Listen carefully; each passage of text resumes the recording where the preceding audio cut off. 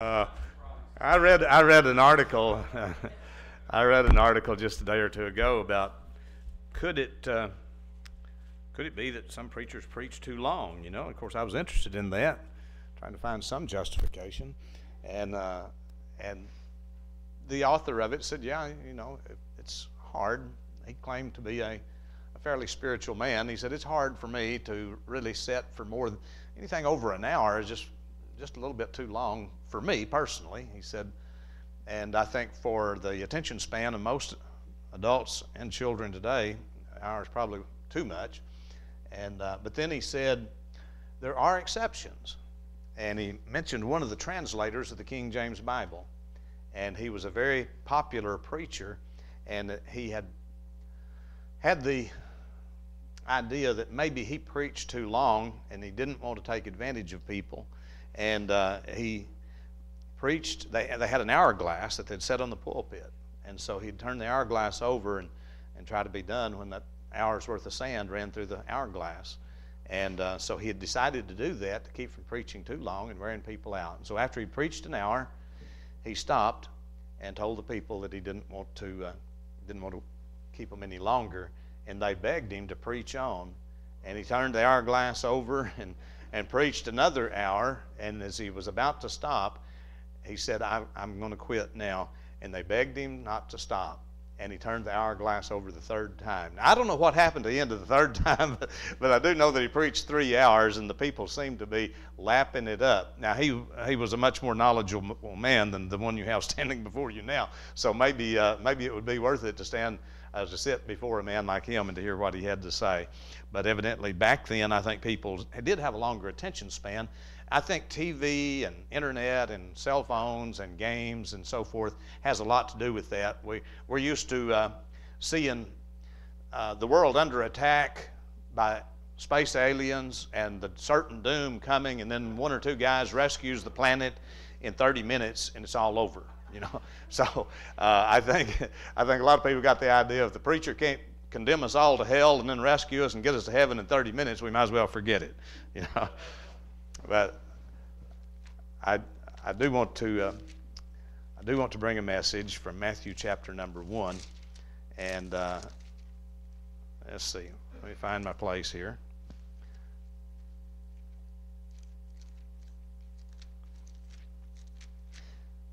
And let's drop down. Uh, well, actually, let's let's just let's go to directly to chapter two. We won't read the uh, preliminary there in chapter one. Go to chapter number two, and we'll begin reading there. Matthew chapter number two. Now, when Jesus was born in Bethlehem of Judea, in the days of Herod the king, behold, there came wise men from the east to, to Jerusalem, saying, Where is he that is born King of the Jews? For we have seen his star in the east, and are come to, what's the next word? Worship, worship him. That's why we're here today, isn't it? We're here to worship him. Verse 3 When Herod the king had heard these things, he was troubled, and all Jerusalem with him. And when he had gathered all the chief priests and scribes of the people together, he, command, he demanded of them where Christ should be born. And then verse 5 is a, a a refer- cross reference from Micah chapter 5, verse number 2. And they said unto him, In Bethlehem of Judea, for thus it is written by the prophet, And thou, Bethlehem, in the land of Judah, art not the least among the princes of Judah, for out of thee shall come a governor that shall rule my people Israel. Then Herod, when he had privily called the wise men, inquired of them diligently what time the star appeared. And he sent and he sent them to Bethlehem and said, Go and search diligently for the young child. And when you have found him, bring me word again that I may come and worship him also. Now we have the same word worship there, but we know Herod's heart was not being true. He was lying through his teeth because later we find that he killed all the babies, uh, newborns all the way up to two years old, trying to destroy the Lord Jesus. He had no intention, but was lying to the, to the wise men in order to try to locate this baby who was a threat to his kingdom in his estimation. Verse 9 And when they had heard the king, the wise men, when they had heard the king, they departed.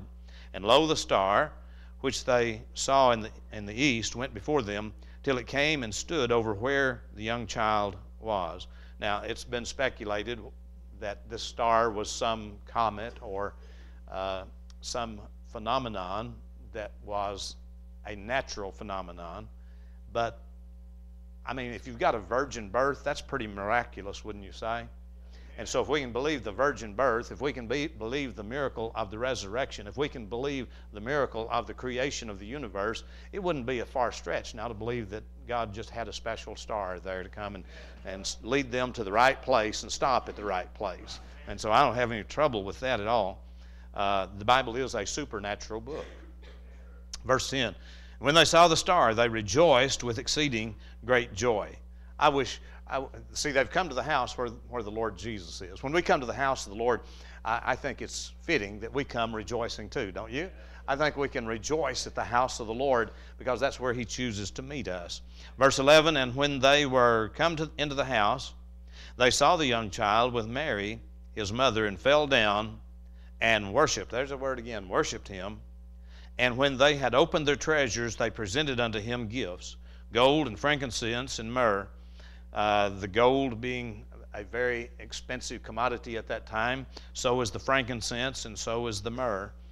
Verse 12 And being warned of God in a dream that they should not return to Herod, they departed into their own country another way.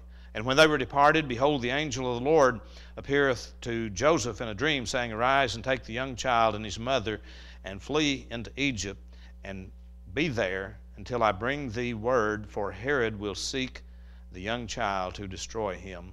Let's go to the Lord in prayer. Father, I do pray that you'd help us to have a worshipful heart at this time. And Lord, help us to learn and glean some things from this story about the devotion of these wise men. I pray that you would bless us in this hour. Lord, would you accept our praise and our worship? Would you just look down and see our humble hearts in this room today? Lord, we know that we are nothing, but you're everything. And Lord, we worship you in this hour. In Christ's name we pray. Amen. The wise men are said in this passage to have come from the east. And uh, while it's not certain, many, of, many people believe that, that uh, this eastern country would have been Persia or modern day Iraq. And, uh, and we don't know, it doesn't say. But there's some modern mythbusters that's always uh, they take great glee in trying to to show the the lack of evidence for many of the things that tradition holds and and uh, it's not certain that they came from Persia but probably and the modern mythbusters say they were probably uh, astrologers uh, I think maybe more in line with astronomers than astrologers uh, the Mythbusters tell us that the Bible does not say that they rode camels, which we see on the postcards. Well, the Bible doesn't say they rode camels, but it doesn't say they didn't ride camels either, does it? And if they came eight or nine hundred miles away, then, uh, you know, bearing gifts and traveling afar and carrying supplies for their journey, it would not be unreasonable to think that perhaps they did ride camels. It doesn't really matter. If the Bible doesn't say, where's our argument? I mean, to argue for camels or to argue against camels would be rather fruitless, don't you think? And then, uh, then in the song we sang a little while ago, in that last hymn we sang, it says, Those wise men three. Well, the Mythbusters say there weren't three of them. The Bible doesn't say there were three. Well, it doesn't say there were three. It only says there were th- three types of gifts. And so many have assumed that there were three of them because of the gifts. And maybe there were more, the Bible doesn't say. There could have been five or ten or twenty. I don't know. And I, I, don't really think it makes a lot of difference where the Bible doesn't specify. I'm not going to argue that there weren't three. I know people that won't sing that song because the, the song says the wise man three, and there's people who refuse to sing that song because they say it's false. There weren't three. How would they know? The Bible doesn't say. It doesn't say there are three, but it doesn't say there's not three. And so I wouldn't refuse to sing the song based on an assumption. And uh, they say that the wise men didn't come to the to the manger, uh, that they came some months or even up to two years later. And perhaps they did. Again, I don't really care. The truth is, the wise men came because they heard of the birth or through the, through the angel that was announced to them, through the reading of the Word of God, and through the star that led them. They believed that Jesus was born. And so the timing is rather insignificant, like we argue for the 25th date for the birth of Christ. We don't know. Uh, we could say that there's evidence that says it might not be, but there are other evidences that show that it's possible. And so, why argue and, uh, and be adamant about those things on which we cannot know? The, they say they didn't see the star until Jesus was already born. Well, again, we do not know. The Bible doesn't say that.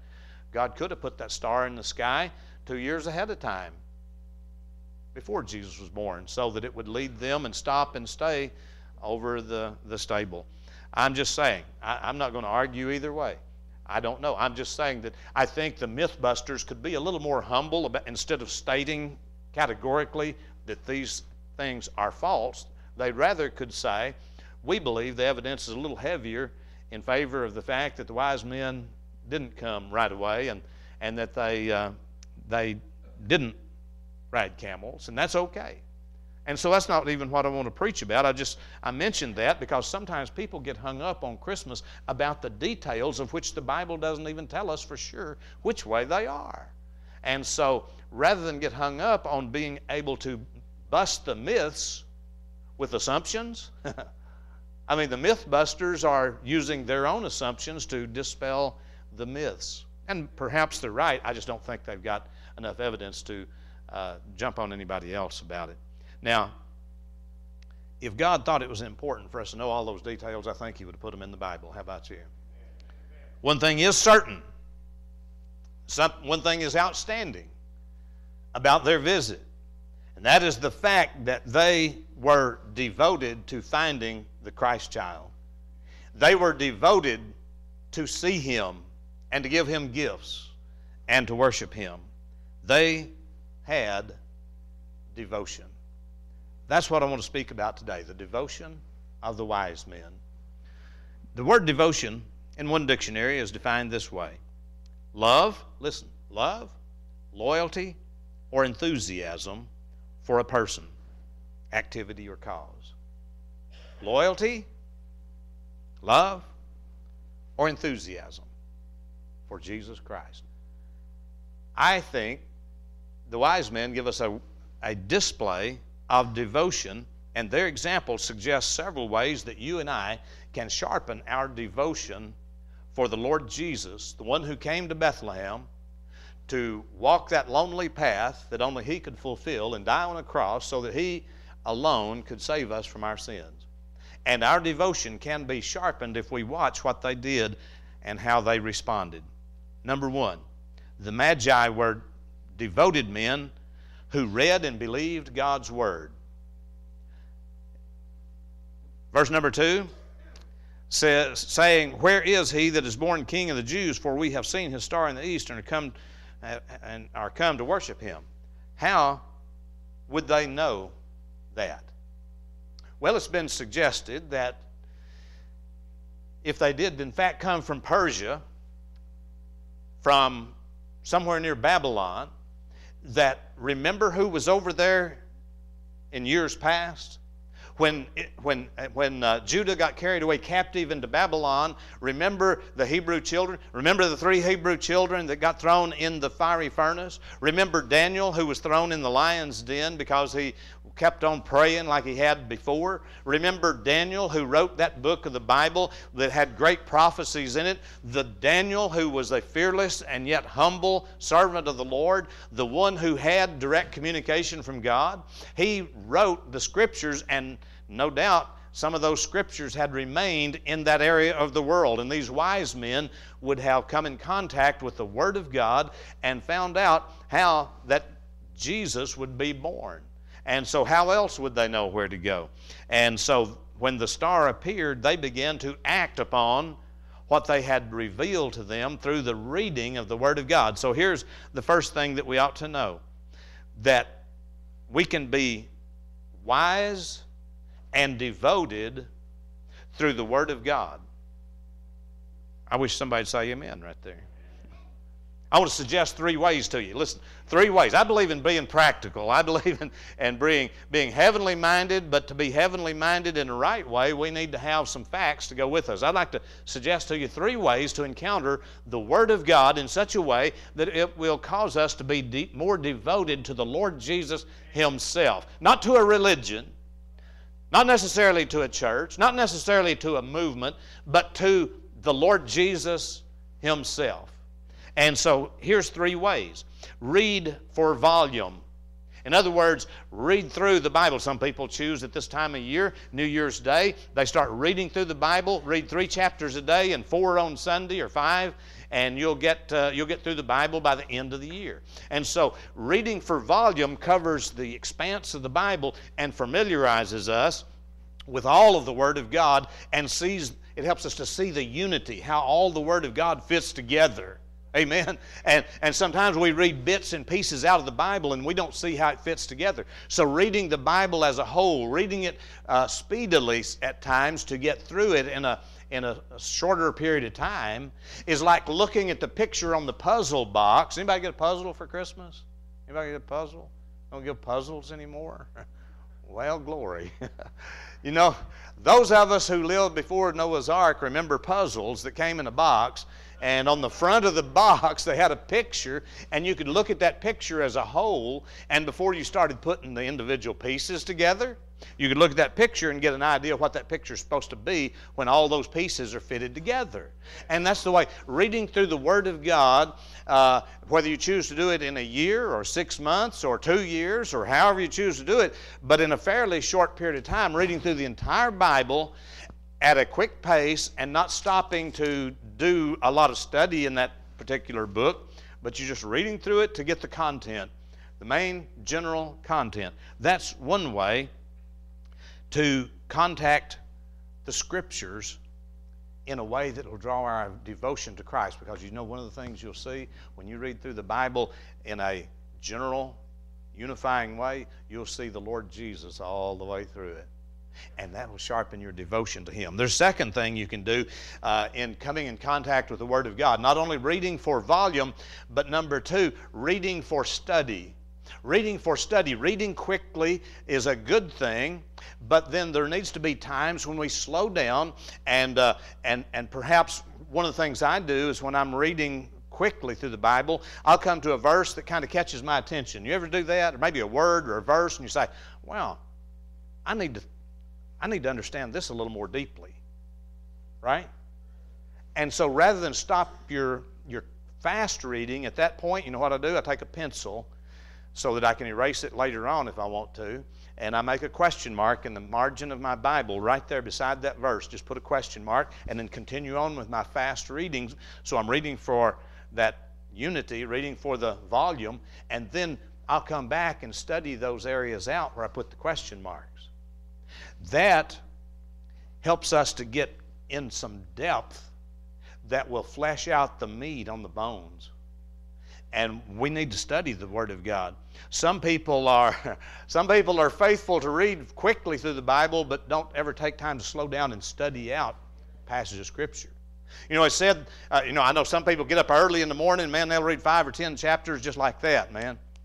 And it said, you know, the old saying, the early bird gets the worm, but it's the second mouse that gets the cheese.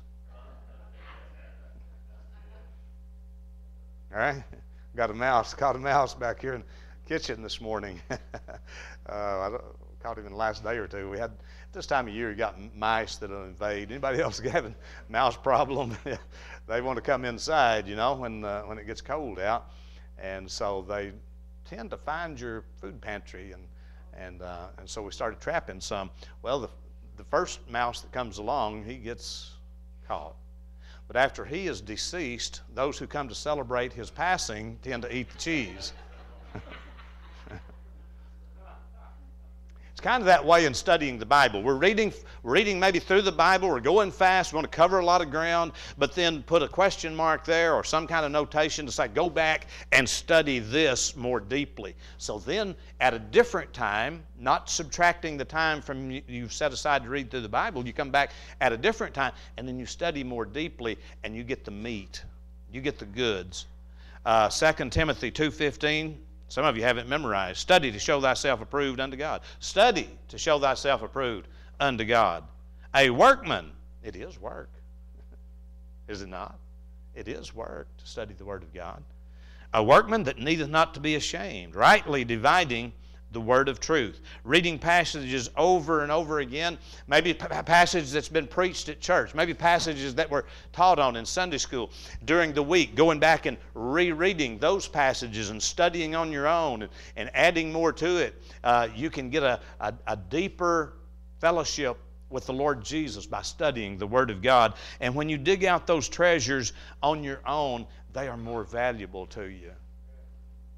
When you find it yourself, somebody, uh, I saw somebody posted on the internet uh, on a social site a few days ago says, anybody else get excited when you find a $20 bill behind your recliner that was yours in the first place?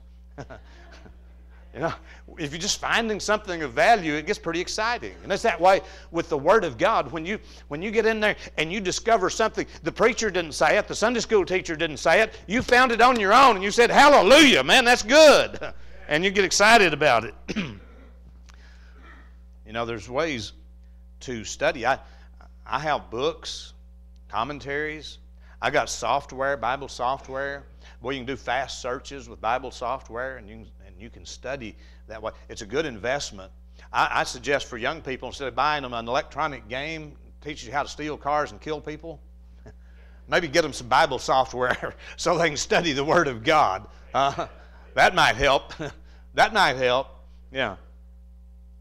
Read for speed and volume, but come back and study. Number three, third way I'd suggest, uh, reading the Bible in order to enhance your devotion for Christ? Are we not here? We're talking about today devotion, the devotion of the wise men. They, they got closer to Christ, they came into His very presence because the Word of God was the, scat, the catalyst that brought them there. Number three, reading for devotion. Looking for ways to praise and worship and adore the Lord and to fellowship with Him. You know, it's it ought to be the bottom line of our fast reading and of our narrowed down studies to ultimately result in a devotional confrontation with Jesus Christ, fellowshipping with Him. I mean, that's that, that thing that warms your heart. It doesn't just enhance your knowledge, it doesn't just give you satisfaction knowing that you've read a certain number of chapters, which are all good but ultimately ought to bring us down to where we say, I walked with God this morning. I met with the Lord this morning. I got out of bed, I got out my Bible, I looked into the Word of God, and He touched my heart. And He puts something on you that will follow you throughout the day. Remember the, the disciples after the resurrection of Jesus, the disciples are walking on the road to Emmaus, and Jesus comes up and encounters them, and they don't recognize him because he's in his resurrection body now. And they're walking down the road, and Jesus is right there with them, talking with them, and they don't recognize him until he says something uh, as they get ready to ask the blessing on the food, and, and he, uh, he reveals himself to them. And here's what they said afterward Luke 24 32. Listen to this. And they said one to another, Did not our heart burn within us while he talked with us by the way, and while he opened to us the Scriptures? That's what we ought to be searching for. Reading for volume? Yes. Coming back and studying to enhance our knowledge? Yes. But in the final analysis, we better encounter the Lord Jesus in a devotional way. Personal devotions, family devotions, coming to church, those are all ways to encounter the Lord Jesus. Second thing, the wise men sought Jesus. Not only not only did they read and believe God's word, but they sought him. They sought him. Wise men seek Jesus, don't they? It seems they have come a long ways. It says in uh, chapter 2, verse number 1 Now, when Jesus was born in Bethlehem of Judea in the days of Herod the king, behold, there came wise men from the east to Jerusalem.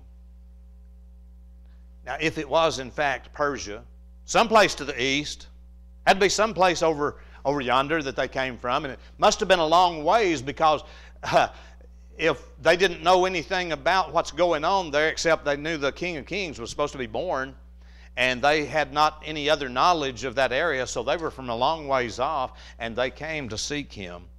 They came a long ways. If it was in the area that most believe that would be like eight or nine hundred miles, that's a long ways to go to church, isn't it? you know, that's one of the ways, by the way, you can you can seek Jesus. Some people seek Jesus by finding a Bible preaching church, and they may have to drive a ways to get there. All churches are not created equal. Just because there's a church sign out front doesn't mean that Jesus is in the house. Amen? And if a person is not profited, if a person is not profited by the, by the unapologetic preaching of the Word of God, if they're not challenged by the Word of God to draw closer to Jesus, to win souls and to know Him more and to live a, a life that's obedient to Him, then maybe they ought to find a different church. Amen. But not just going to church on Sunday, but, but attending all the services and coming to the special meetings. That's a way that you can seek Jesus.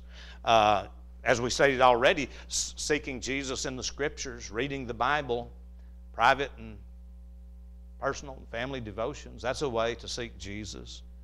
Uh, looking for Jesus, listen to this looking for Jesus in times of trouble is the time that many people fail to seek Jesus.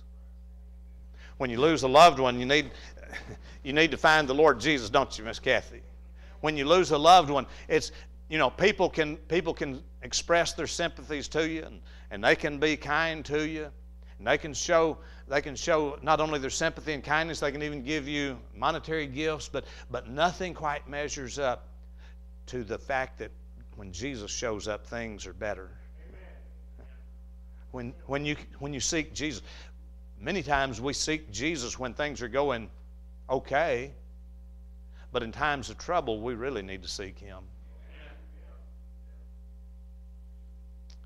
I always pray for families who've lost a loved one similar to this. I, uh, I'll pray, Lord, help the lost in that family to come in contact with the gospel.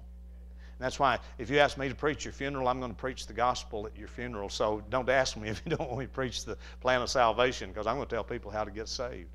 I won't pound the pulpit and holler and tell people they're headed straight for hell and, and cry and, and, and run across tops of pews and threaten people at a funeral. I, I, there's a few preachers who do that. I don't think it's appropriate. But I will preach the gospel. If you ask me to preach the funeral of a loved one, I won't be, I'll try not to be offensive. I'll try not to be mean spirited. I'll try to be kind and show compassion and sympathy, but I will preach the gospel. I'll tell people how to be saved. And I will give an invitation. I might not ask them to come down to the altar, but I'll ask for a, for a show of hands.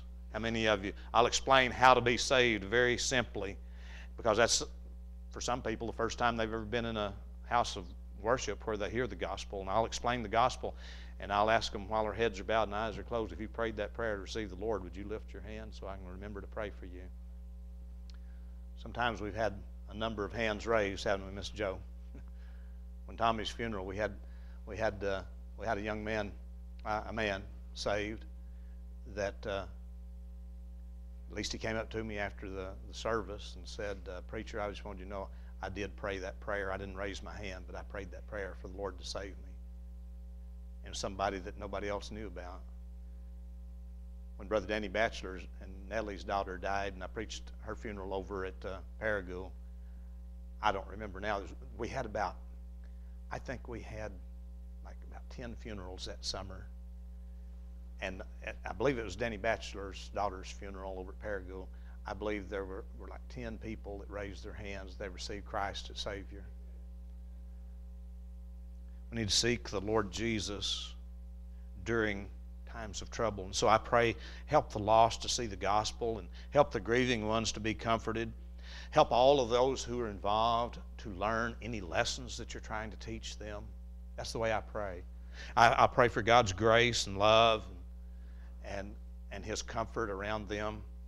And then I'll pray that God will draw every one of them closer to the Lord Jesus. That's the wise men who wanted to be closer to Christ. Number three, the wise men rec- recognized the worth of Christ. Their expensive gifts. Watch this. if you go back down there in uh, verse number 11, and when they were come into the house, they saw the young child with Mary, his mother, and fell down and worshiped him. And, and because they worshiped him, because of their heart condition, because they were devoted to him. And that's what we're talking about today, ladies and gentlemen. Being devoted to the Lord Jesus Christ, being devoted in our heart, not just some kind of outward show of religion, but de- being devoted in our heart. It touched their heart in such a way. It says, And they worshiped him, and when they had opened their treasures, they presented unto him gifts, gold and frankincense and myrrh. They proved their love. That's what the Apostle Paul said uh, to the Corinthian believers. He said, It's time to prove your love.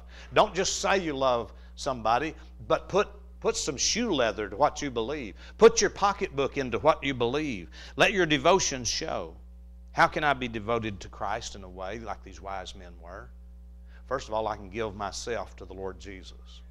You know what I think He wants more than He wants more than He wants uh, anything else from you. You know what I think the Lord Jesus wants? I think He wants you personally. I'm not talking about just being saved. He definitely wants you to be saved, but after you're saved, you know what He wants from you more than He wants anything else? He could have created just the angels to serve Him. He didn't need us.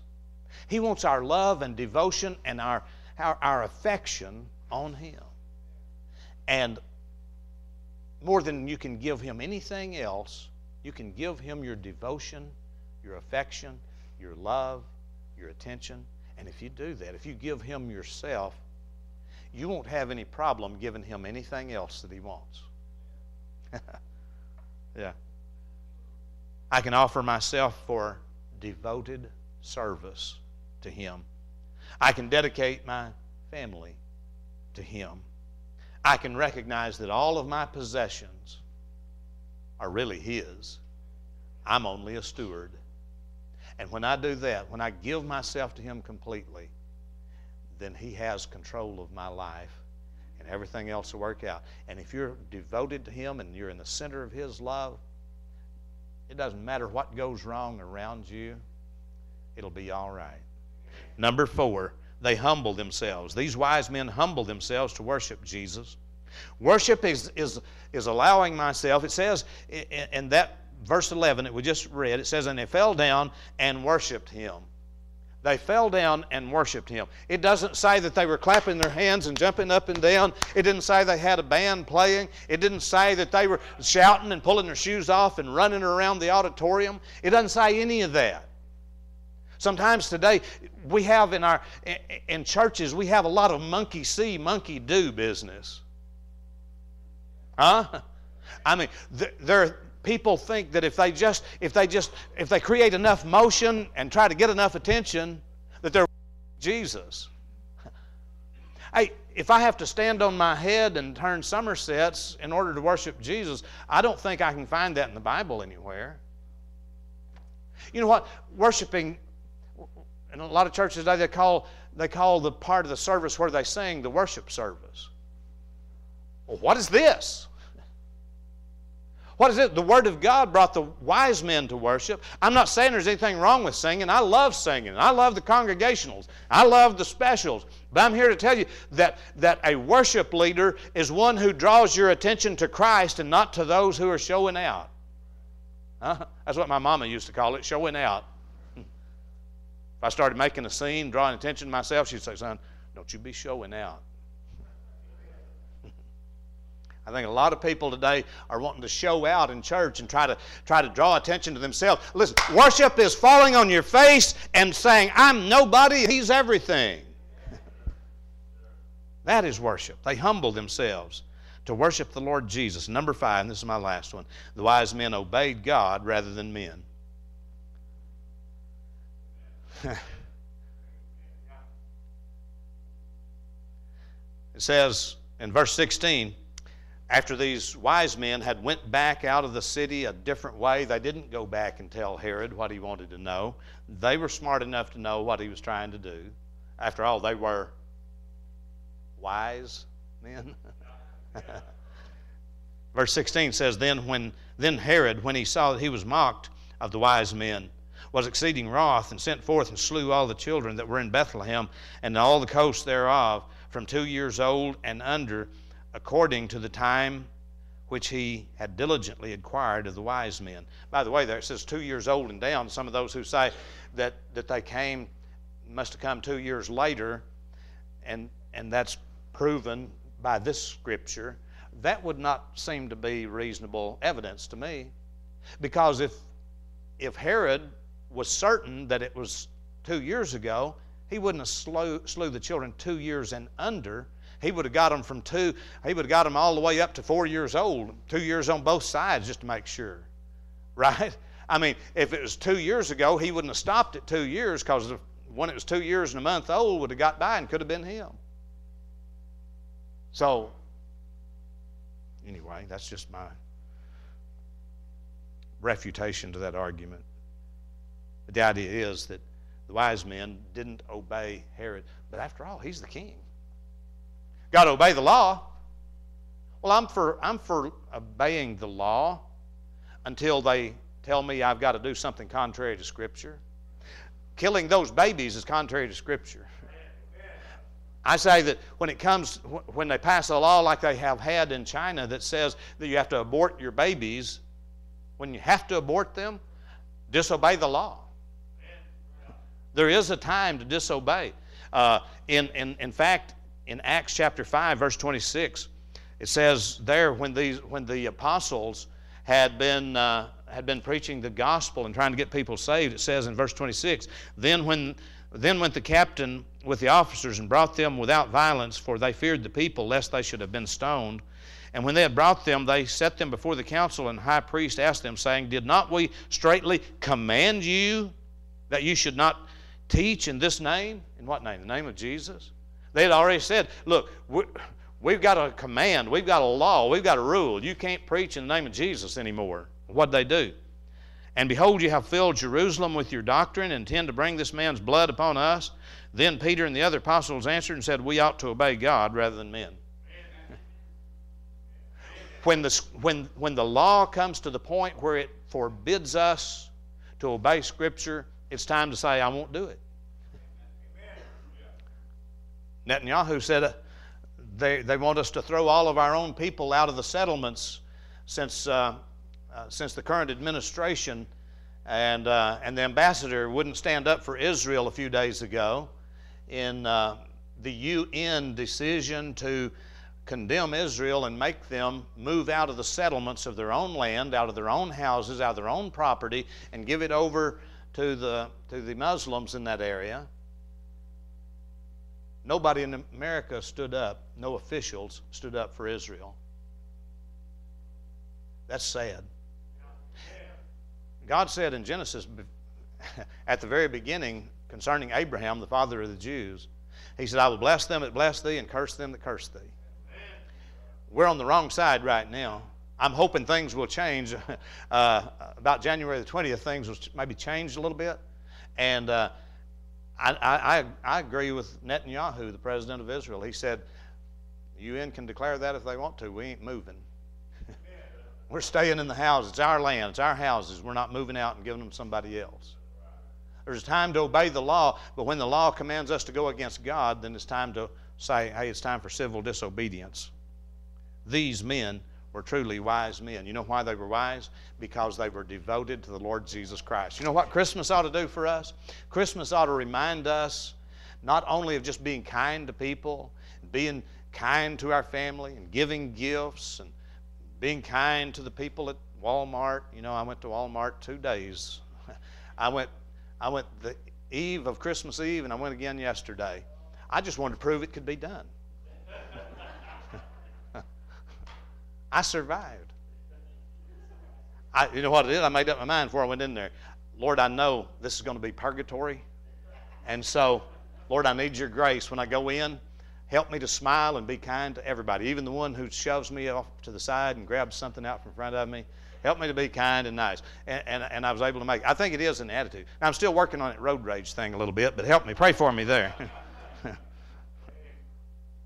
you know, it's good. It's good to be kind to people at Christmas. You know what the Lord Jesus wants us to be? He wants us to love Him and be devoted to Him. And I have a question for you. How devoted are you to Jesus?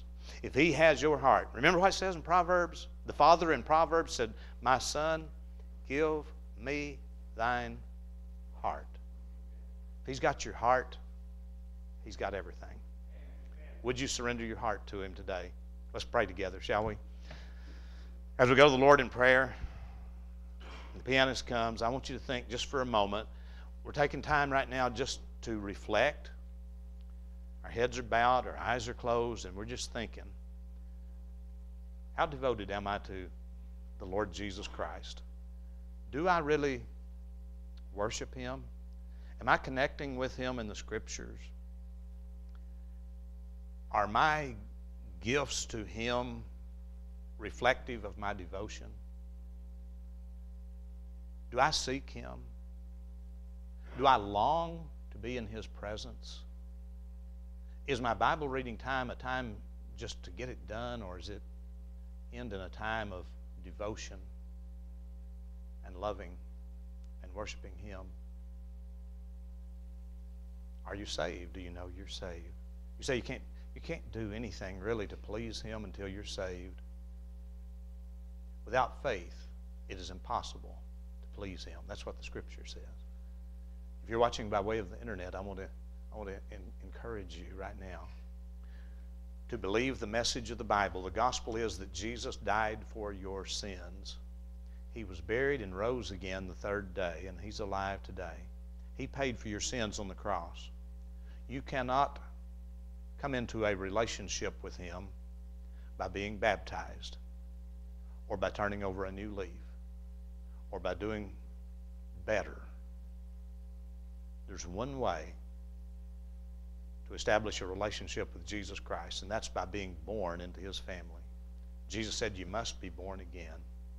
To be born into his family means that you believe he died for your sins, and you have faith that his blood and his blood alone can save you. The Bible says, For whosoever shall call upon the name of the Lord shall be saved. If you call on him in faith, believing that there's nothing you can do, turning your back on that old way of life, turning that back on those religious works, turning your back on your sin and lust, turning your face towards Jesus in faith, saying, Lord Jesus, I love you and I, I believe you died for me. I accept you as my Savior. The Bible says, For whosoever shall call upon the name of the Lord shall be saved. Would you ask Him this morning to save you? Father, I pray that you'd bless the invitation time. Lord, I pray that our devotion would be sharpened and would be intensified, would cause our hearts to be warmed, and Lord, that we might surrender ourselves afresh to you today. In Christ's name I pray. Amen. Would you